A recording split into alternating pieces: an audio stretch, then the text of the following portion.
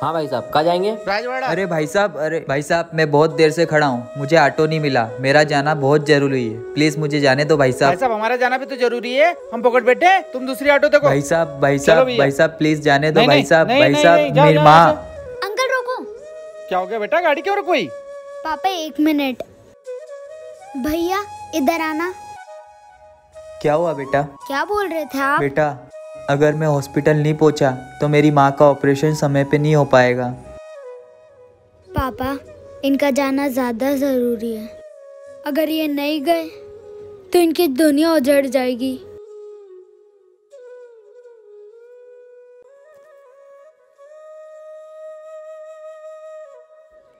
कभी इतने भी जिद्दी मत बनना कि तुम्हारी वजह से किसी की दुनिया उजड़ जाए।